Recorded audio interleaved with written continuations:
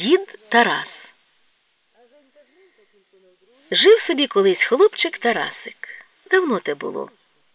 Згодом він став дорослим, а по багатьох роках і дідусем. Адже все на світі змінюється старіє. Дід Тарас тепер живе один. Перед вікнами його хати шипочеться з вітром крислатий каштан, а довкола сад. Часто дід згадує своє довге життя, а особливо дитинство. Бо дитинство ніколи не забувається. Каштан міцне живуче дерево, хоч і не вміє розмовляти, та, мабуть, все знає, як і дід Тарас. Певне, і хлопчика Тарасика не забуло, бо саме Тарасик з татом посадили його перед вікнами хати. Приїздять онуки, вмощуються біля діда під каштаном, заглядають пильно в очі і щебечуть Дідусю, а сьогодні розкажете нам про Тарасика? Можна й розказати, всміхається дідусь.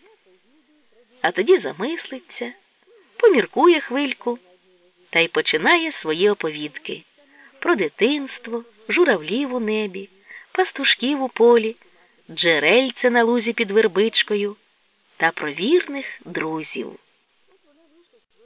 Журавлі. Тарасику, Тарасику, кличе мама. А йому ніколи обізватися.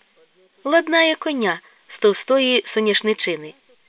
З клоча робить коневі гриву, а з мотузочка оброть. З отих соняшників геть усе можна змайструвати. З них Тарасик ще восени побудував куреня, щоб там гратися, а взимку із засідки вистежувати зайців, які навідуються з поля гризти молоденькі щепи яблунь та груш. А ось тепер, коли завесніло, то як же без коня? Ніяк не можна. Хвацько гарцюючи на коні, Тарасик вибігає на вулицю, позирає великими сірими очима на всебіч. Хочеться, щоб його побачили діти з їхнього кутка, а може й дорослі. Але на вулиці порожньо. Розчарований Тарасик повертається на подвір'я, чіпко тримаючись за конопляну гриву, яка майже не відрізняється від його білявенького чубчика, що звисає над подряпаним гостреньким носом. Соняшниковий кінь вибрикує, тупцює, дибки стає і нетерпляче ірже Ігі-гі, ігі-гі а мама ніби не чує і не бачить. Тарасик стримує коня і завмирає, вдивляючись у небо, а потім гукає Журавлі. Журавлі летять прямо над нашою хатою, а он де й гуси дикі. Мамо, випустіть і наших гусей, хай із дикими політають. А як вони назовсім з ними полетять, тоді в нас гусей не буде. Стає на порозі мама, наставивши дашком руку над очима. То й що? Там їм краще буде, ніж у хліві, жартує хлопчик. Це вже шоста весна твоя сину подає свій голос. Вже й у поле скоро виходити, каже мама і пригортає до себе Тарасика. Враз хлопчикові вчувається чийсь голос, неначе журавлі з неба кличуть його. І Тарасик на своєму коні скаче їм навздогін. Хто ж кликав? Гарне пригарне Тарасикове село Майданівка. Воно ховається в зелених садах і розташоване обабіч невеличкої річечки та навколо ставу. У Тарасика були два старших брати Кіндратик і Данилко, та менша чотирирічна сестричка Настуся. Кіндратик і Данилко ходили вже до школи і пасли гусей. Тарасик із сестричкою та котиком димком гралися вдома у замкненій хаті, бо мама йшла в поле на роботу, а тато був на війні з якимись петлюрівцями. Димок мурликав малятам казки, а Тарасик і Настуся гралися іграшками, які самі робили. То з буряка возика змайструють, то цапка чи качечку з білої глини зліплять, а то й голубів з соломи сплетуть, щоб ними хату прикрасити. Та відтоді, коли журавлі струсили Тарасикові з неба шосту весну, йому вже не хотілося сидіти вдома. І котикова казка, і цапки та качечки з глини уже менше його цікавили. Хлопчикові кортіло податися кудись далеко-далеко за село, аж до самісінького заводу, де цукор з буряків варять, може, й далі. А мама його з Настусею в хаті замикає, наче він маленький. Тарасикові друзі, Кирилко і Ванько співчутливо зазирають у вікна, але відімкнути замок і випустити свого товариша не можуть. А якби й відімкнули, то Настусю на кого полишиш? Отож і сумує Тарасик, упершись лобом у шибку. Видивляється, коли мама повернеться з поля, щоб хоч на хвильку до хлопців податися. Та якось уранці мама заходилася мазати хату. Братик і сестричка аж підстрибують, раденькі, що мама вдома, і вони зможуть погратися на подвір'ї. Матуся шпарує стіни, а ти бігай, скільки тобі заманеться. Росяний спориш лоскоче босі ноги, аж підганяє пострибати. Тарасик виглядає за ворота, хто ж кликав учора. І раптом О, мамо, знову журавлі курличуть. То вони мене вчора кудись кликали. Чуєте знову? Кру-кру, курли-курли. Птахи землю будять. Тарасиків погляд наздоганяє птахів, які на довгих крилах несуть весну, сонце й тепло. Пташині голоси тануть у небесній блакиті, а журавлі ховаються за високим заводським димарем. Кру, кру. Гарно полетіли, каже мама, і знову береться до роботи. Тарасик ще довго стоїть, задерши голову, а вже поруч Кирилко, Ванько і Туся Настуся. Вони землю будять, правда ж? питає Кирилко. «А вже ж, стверджує Тарасик. І дороги людям показують, додає Ванько. «А вже ж», – поглядає на маму Тарасик. Мабуть, здалека повертаються. Сонце непомітно скотилося за село. Уже й спати час. Після вечері Тарасик і Настуся вмощуються на печі. Приходить і мама до них. Посередині влігся димок і муркоче, щоб приспати малят. А Тарасикові чомусь не спиться, крутиться, чухається, а тоді шепоче. Мамо, а куди йдуть оці дороги, що в нашому селі, і стежки? Одні дороги ведуть в інші села, другі в міста, а стежки в поля і до цукрового заводу. Мам, а пташки мають свої дороги? Звичайно, пташки свої, а люди свої. А я скоро піду до школи. Коли буде вісім років. Мам, а ви вмієте читати і писати? Ні, синку, я не вчилася в школі і літер не знаю. Спи вже пізно. А я вже знаю літери і вас навчу. Хочете? Тарасик замовкає. Нехай мама спить. Він думає. У дорослих скільки не питай, нічого одразу не втямиш. Краще б самому побігти по тих стежках та дорогах. От прийдуть хлопці завтра, і ми гайнемо за село аж до самого заводу. Ранкові роси. Прозорими намистинками сивіють на кучерявому спориші ранкові роси. Від перших сонячних променів намистинки всміхаються, виграють веселкою. Тарасик присідає навпочіпки, заглядає в них, мов у дзеркальця, і бачить там дерева, хати і самого себе. Навіть шкода бігати по споришеві, щоб не струсити їх на землю. Воно вже й хлопці перетинають майданчик, підводить голову Тарасик. Хлопці, гайда до заводу зустрічає друзів. По конях. гукає, коли вони вбігають на подвір'я. Коні в стайні, показує на корінь. І возенькими обніжками, зеленими луками мчать хлоп'ята на соняшникових конях повз височенні осокори, густий верболіз, через ливаду аж до заводського ставу. Хлопці, стій. Вигукує Кирилко. Ого, які довгі будинки. А що там у них? питає Ванько. Мабуть, там повно цукру, вгадує Тарасик. Там пан жив, каже Кирилко. У нього було багато корів, коней, волів, і гайок теж його був, і завод, і став. От і не пан, заперечує Ванько, то економія, мама казали. Панів прогнали, вигукує Тарасик. Моя мама краще знає. О, гляньте, Тимко біжить, показав Тарасик, аж спотикається. Мабуть, тато з ярмарку приїхав, цяцьок привіз, усміхнувся Кирилко. Похвалитися і подражнитися хоче, додав Тарасик. Вони ж багатії, кіньми їздять на базар. Вони до хати нікого не пускають, відвернувся Ванько. Фу, на силу вас розшукав, зупинився захеканий Тимко. Ось погляньте, що мені тато з ярмарку привезли. Показав глиняного, розтяцькованого соловейка, схожого на того баранця, що Тарасик із сестричкою виліплюють з білої глини. От тільки не вміють розмальовувати. Такого й самому можна зліпити, правда ж, Тарасе? Сказав Ванько. Послухайте ж, як він співає, наполягав Тимко. Чуєте, чуєте?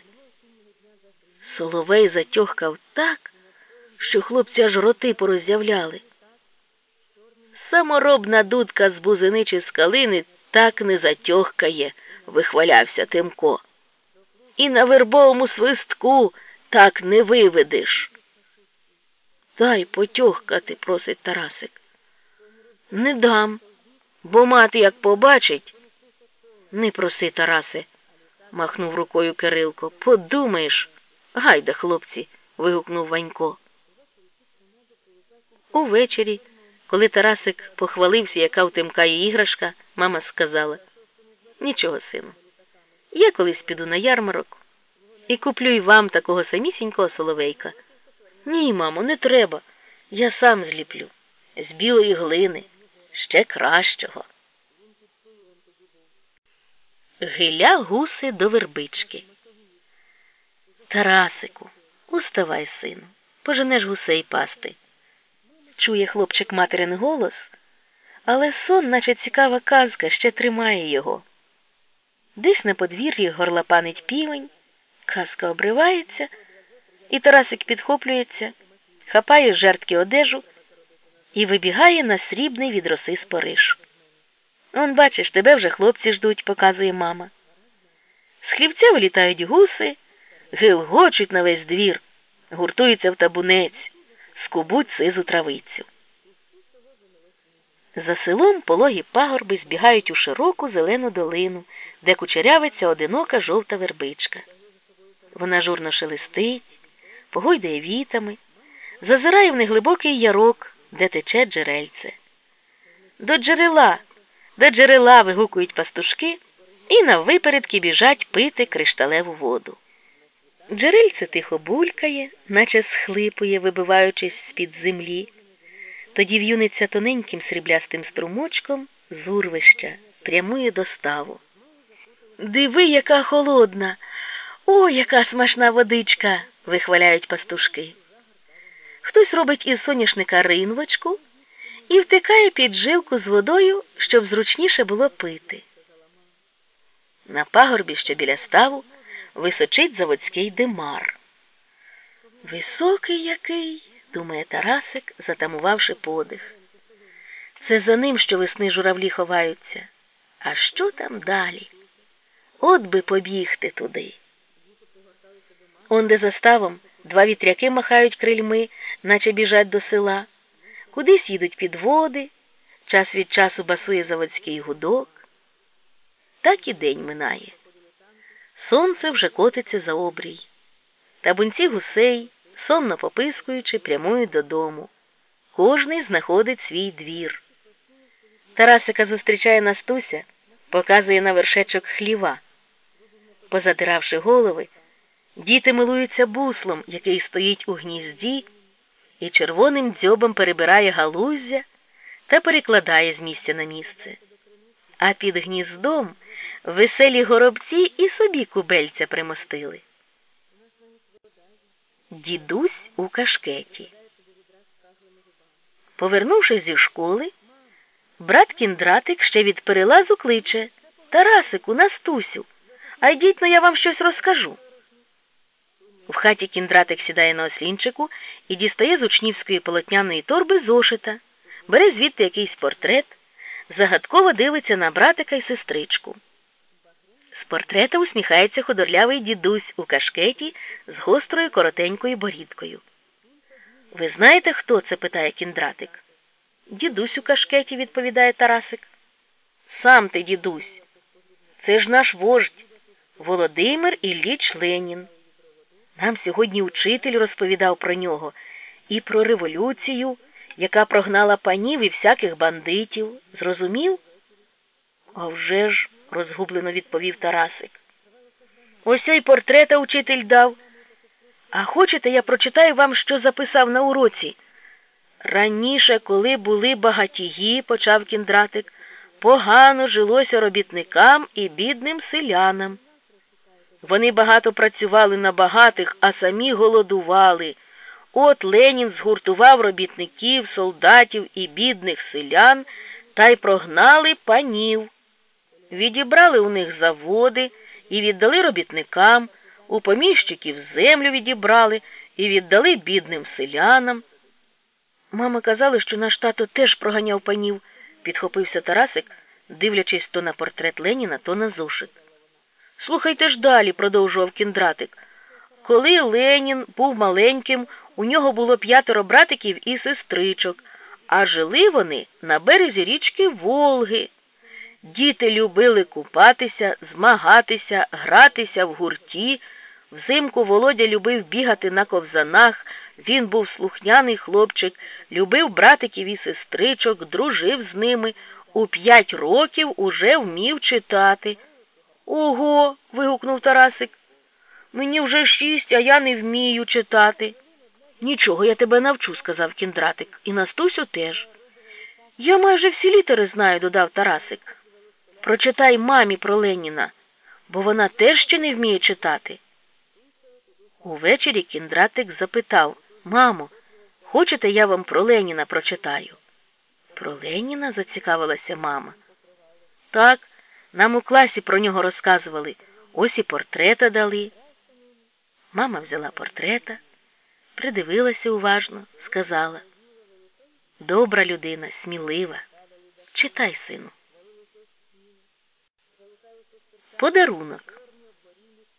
Рипнули двері. До хати увійшла тітка Хима. Вона сіла на ослоні біля мисника, всміхнулася. Оно, яка дружна сім'я у вас. Разом уроки вчите, чи що? А вже ж, відповіла мама. А я ось отримала листа від свого Віктора. Тітка Хима дістала з під фартуха конверт і, подаючи його кіндратикові, мовила Прочитай, сину, ти вже вчений, не те, що ми. Усі замовкли, а кіндратик почав уголос читати. Дядько писав, що вже всіх бандитів прогнали, що на жнива приїде додому. Тітка Хима аж у долоні сплеснула. Нарешті, може, і ми заживемо, як люди. І наш тато скоро приїде, сказала мама, торкнувшись Тарасикового чуба. А Тарасик подумки вже зустрічає свого тата, намагається пригадати його обличчя, почути голос, але не може.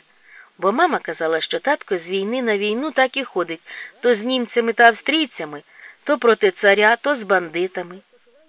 Тітка Хима підвелася і кивнула кіндратикові та Данилкові. А ходімно до мене, я щось вам подарую за такого листа. Данилко і кіндратик перезирнулися.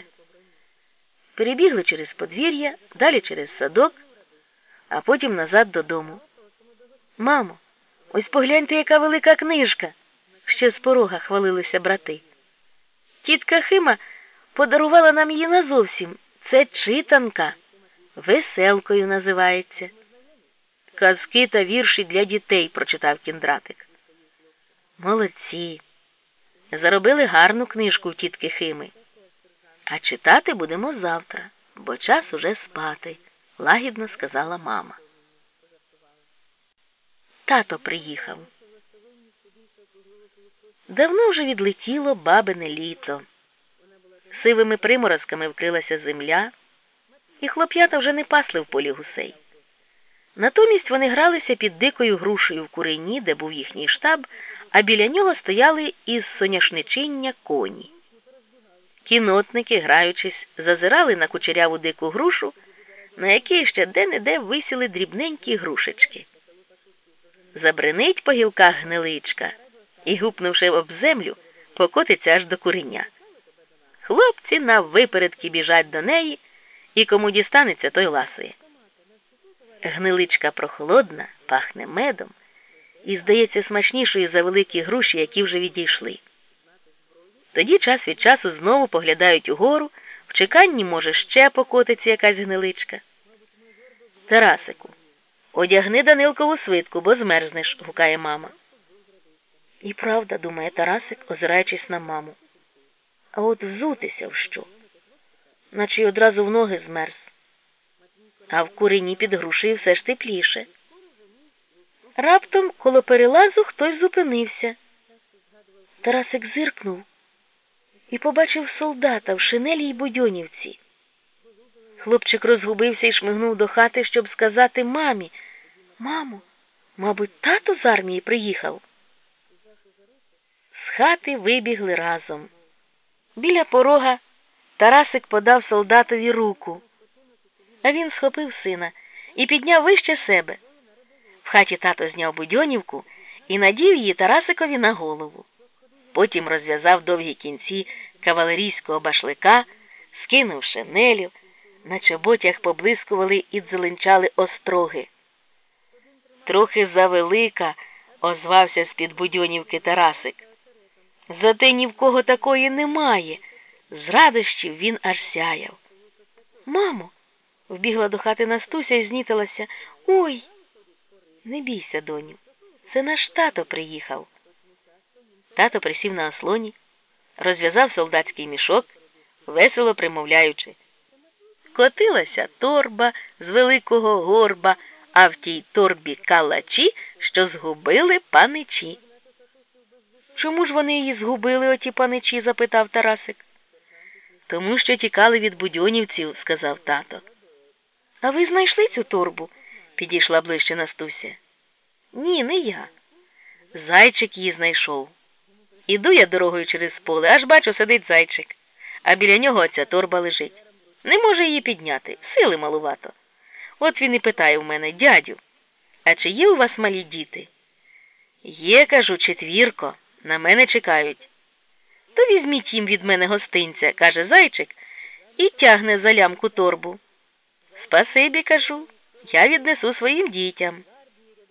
Взяв я торбу, а зайчик підстрибнув радісно та й поскакав собі по рудій стерні. Настуся вмостилася в тата на колінах, щоб краще роздивитися гостинці від зайчика, які тато викладав із торби на стіл. Тепер Тимко не буде задаватися, що з татом на ярмарок їздить, вигукнув Тарасик. Чобітки. Оце буде Тарасикові, а оце Настусі. Тато відкладає шкуратки ременю, щоб зробити викройку. Він перешиє старі чоботи, змастить гарненько дьогтем і вийдуть нові чобітки. Тарасик ще ніколи не мав своїх чобіт, а завжди шкарбав у чиїхось недоношених. Тату, аби ви скоріше пошили, а дьогтем я сам змащу, каже Тарасик. Я люблю його нюхати і вам допоможу. Коли так, то ось тобі суха березова колодочка, роби з неї цвяхи. Вони в тебе виходять, як фабричні, хвалить тато. Таких ніде й не купиш. Тарасик бере ніж, молоток і з березових кружалиць вирубує платівочки, загострює їх, а тоді ріже на цвяхи. Потім береться смолити дратву чи йшла за голкою. Туся Настуся і собі просить якоїсь роботи, щоб скоріше братикові чобітки пошилися. То колодку подасть татові, то лапку, то води принесе. Тату, а коли ви їх будете з колодки знімати? не терпиться згодом Тарасикові. Може, і завтра, відповідає тато. Наступного вечора взялися до роботи гуртом. Кіндратик прибиває підошву, Тато рихтує підбора, а Данилко готує дротяний гак, щоб витягти колодки з чобіт. Мама підтягує вище гнотика в каганці і разом з Настусею чекають, коли закінчиться робота.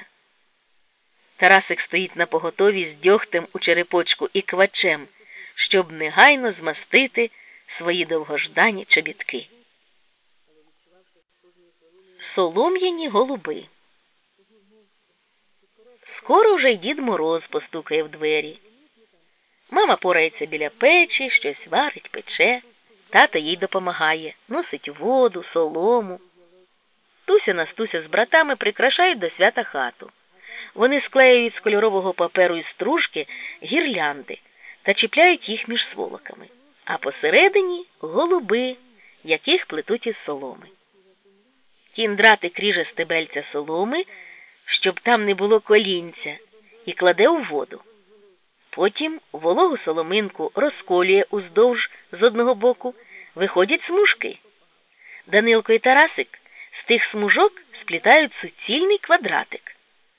Тоді кінці соломинок збирають докупи, зв'язують ниткою і складають один до одного. Зверху прив'язують паперові крила. До інших кінців прив'язують теж паперовий хвіст і виліплену з білої глини голову. Голуб готовий. Усередину голуба кладуть горіхи, цукерки та інші ласощі, і на нитоці підвішують до стелі. Голуб гойдається, а здається, ніби літає. Надвечір брати вибігають на подвір'я, прокидають доріжку в снігу для Діда Мороза. Під лопатами й чобітьми репить сніг, від інею срібляться дерева. Тихо й гарно в передноворічний вечір. Хлоп'ята витирають шапками з лоба піт, ставляють у куток лопати, обмітають віником сніг щобіт, тупцюють у сінях. Чутно, як під солом'яною стріхою попискують горобчики. Добре, що в Тарасика є тато. З ним і хата веселішою стала. Довгі вечори. Довгими зимовими вечорами, коли ще не хочеться спати, мама роздмухує жарину на припічку, запалює папірець і несе до каганця. А якщо жарини в печі немає, мама гукає Тарасику, піди но до тітки Химки та позич покришку жару. За кілька хвилин Тарасик повертається з жаром на покришці. Мама запалює каганець, ладнає кужель і сідає на лежанці прясти. Тато вносить до хати куль соломи і гнучкої лози та й заходжується сплітати з синами солом'яника для зерна з нового поля. Кіндратик з Данилком розпускають ножем лозинки навпіл, тато з Тарасиком готують жмутики соломи і вшивають їх лозою один до одного. Настуся подає татові лозини. І як це тато вміє все робити, думає Тарасик, позираючи на татові дужі руки. Жмутик за жмутиком соломи, лозинка за лозинкою, та й виріс чималий солом'яник, зо три мішки жита влізе. А тато, закріпивши кінчик останньої лозини, схопив зненацька Тарасика і Настусю та й посадив у солом'яник, який зразу ж наповнився дитячим сміхом. Повний солом'яник сміху. Наступного вечора кіндратик з Данилком взялися читати книжку Веселку. У тата й мами гарний настрій, вони одержали зароблені на заводі гроші, їх стільки, що вистачить купити воза чи плуга, щоб сухою не дряпати поле. Якось тато дістає із скрині кларнет, якого вже кілька років не брав до рук, і починає грати, як колись до війни. Діти замовкають, перезираються, а кларнет виспівує, витьохкує соловейком то весело, то жалісливо. От хай би Тимко почув, думає Тарасик. Не задавався б сюрчком. Весела радісна музика лється з кларнета. Мама зупиняє веретено, замислюється, по щоці в неї котиться сльоза. То найдорожча мелодія її пісні. Може б, вона заспівала, та дітей соромиться. Мама знову крутнула веретено, смикнула пряжу. чому тато плаче. Того дня тато прийшов з роботи, коли вже прогули гудки. Цього разу вони гули часто й довго. До хати увійшов тато, похмурий і сумний. Мама знову зрозуміла, що на заводі щось трапилося. Тато сидів край столу на лаві, пильно вдивлявся в розгорнуту газету, яку приніс з заводу, водив пальцями по вусах. Тарасикові здалося, що тато сердитий, і не наважувався підійти. Правда, шепотів Тарасик по складах величезні літери на газеті. І раптом хлопчик помітив, що тато втирає сльози. Насторожився, не витримав, стрибнув з лежанки і несміливо підійшов. Зиркнув на портрет у чорній рамці в газеті. Ой, мало не вигукнув. То це ж Ленін. Тато, а я знаю цього дядю. Це наш вождь Ленін. А чому ви плачете? Лихо, сину, велике трапилося. Помер наш вождь 21 січня, а сьогодні поховали. Ленін помер. Назовсім? Так. Ні, ні, не назовсім він помер. Він буде жити з нами. Нам з Настусею кіндратик читав про нього. Молодець кіндратик. Спасибі Леніну. Тепер всі будете вчитися. А вам шкода Леніна? І мені теж. А чому він помер? Вороги поранили. Які вороги? Різні вони є. І капіталісти, і поміщики, і всякі білогвардійці. Вони хотіли вбити Леніна за те, що він бідняків захищав, землю їм дав. А чому такі добрі вожді вмирають? Я не хочу так. Тарасик тримався за кінчик газети і пильно вдивлявся в портрет у чорній рамці. Саморобні ковзани. Тільки но посутеніє на дворі, як у хаті запалюють каганець. Всі троє братів вовтузяться на долівці біля лежанки. Вони заходилися робити ковзани, вистругують дерев'яні колодочки з клена чи берези, приміряючи до чобіт, загинають кінці дроту, розпікають їх до червоного в лежанці, наче ото в кузні, клепають молотком до обуха сокири. Кінці леза заганяють в колодочку, і ковзан готовий. Лишалося вранці прикрутити ковзани до чобіт мотузком з дерев'яною цуркою та бодатися на лід. І там почовгати на одній нозі, аж поки мама не зажене додому. Всю зиму брати майстрували ковзани або санчата. Зроблять, поламають на ковзанці, а тоді знову за роботу. У тих клопотах довгі зимові вечори збігають непомітно. Іноді те майстрування набридало, і брати придумували щось інше. Мамо, а хочете, я почитаю кобзаря? питає кіндратик. Мама лагідно киває головою. Читай, сину, читай, і я послухаю. Читайте, я теж слухатиму, заохочує втомлений батько. Діти вмощуються на лежанці ближче до каганця. Мама сідає за кужель, бо звикла слухати за роботою. Тато щось лагодить. Сім'я слухає кобзаря, аж поки малята не починають дрімати. Добре спиться на печі у просі чи ячмені, і сни дивні сняться. Буває, присниться, що летиш над селом чи пливеш на середині заводського ставу і до берега ніяк не можеш дістатися, аж закричиш у вісні. Хочеться скоріше вибратися на берег, проснутися і злізти з печі. Шукаєш, шукаєш вихід, а воно, де не мацнеш рукою, скрізь глуха стіна. Ледве второпаєш, що вже проснувся, і не вставу борсаєшся, а на печі крутишся. Тоді вже сердито гукаєш крізь сльози на всю хату. Мамо, мамо, я заблукав на печі. Мама подає голос і простягає руку. Ось я, сину, іди сюди. Вона сміхається з просоння в темряві бо й сама ж у дитинстві блукала на печі. Тарасик, зрадівши, що нічого не трапилося, і що він не вставу, знову лягає на своє місце і натрапляє рукою на кота, що завжди спить поруч. От димок, мабуть, ніколи не блукає на печі, думає Тарасик. Певне, через те, що його очі вночі видющі. Хлопчик пригортає котика, а той уже муркоче, неначе знає, що знову треба приспати свого друга. Мама теж іде спати. Десь під мисником чи під столом озивається завжди незримий цвіркун. Він навіває сон і ніколи нікому не надокучає. Бо його скільки не кишкай, а він своє знає. Свірінчить з різних куточків, наче дражниться чи грається. Він любить ніч, і вона до нього лагідна. До школи.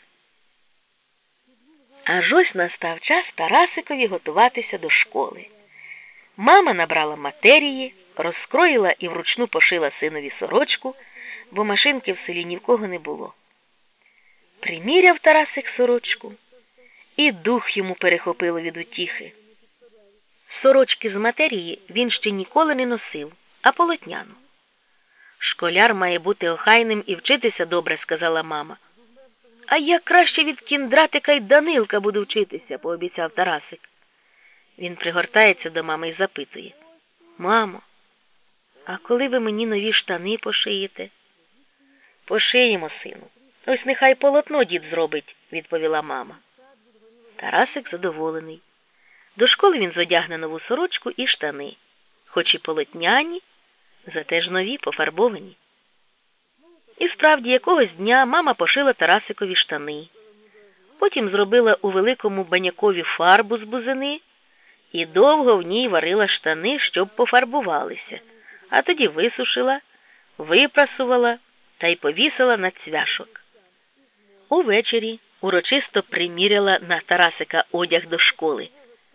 Тільки гудзиків не одрізуй, щоб грати з пастушками, наказала мама. А то будеш нові штани в руках носити. Пхі, ондечки в нашого діда все на дерев'яних орчиках тримається, і штани, і кожух, і свитка, усміхається Тарасик, жартуючи. Та щоб бути, як усі діти, Тарасик старанно помив свої порепані ноги, тато постриг йому закуйовджену голову, а мама сказала Оце так школяр. Не хлопчик, а нова копійка, додав тато. То як же ти будеш учитися? Дуже добре, найкраще, запевнив Тарасик.